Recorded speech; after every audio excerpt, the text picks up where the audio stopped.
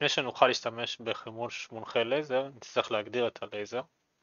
הלייזר באפאצ'י עובד לפי פריסטים. כרגע ה-LRFD הוא רומיו, והטיל מחפש אלפא.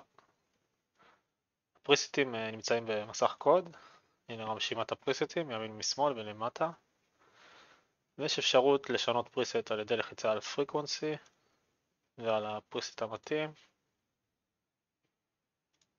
ולשנות פריסט. אם נרצה שהטיל שלנו יראה, יחפש את העזר שלנו, נצטרך להשוות בין ה-LRFD ל-Priority Channel. שוב, בין ה-Priority ל-LRFD. LST זה לעזר שאנחנו מחפשים.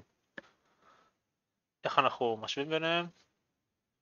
נגיד אנחנו רוצים להשתמש בבראבו, לוחצים למעלה צ'אנל, מוודאים שאנחנו מצ'אנל 1, פריוריטי, ובוחרים בראבו, יוצאים מצ'אנל, נכנסים למסך קוד, מוודאים שאנחנו ב-LRFD, בוחרים בראבו, ויוצאים מקוד.